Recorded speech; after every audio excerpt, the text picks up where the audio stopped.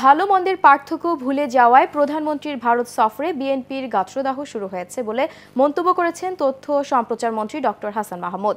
জাতীয় প্রেস ক্লাবে বৃক্ষরোপণ কর্মসূচিতে অংশ নিয়ে তিনি বলেন, প্রধানমন্ত্রীর এবারের সফর অন্যান্য যে কোনো বারের চেয়ে সফল হয়েছে।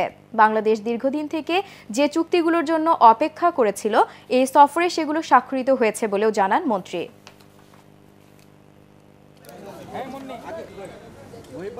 যেই দলের নেত্রী ভারতে গিয়ে বাংলাদেশের পানির হিস্সার কথা ভুলে যায়, ওরা আবার এগুলো নিয়ে কথা বলে কোন মুখে?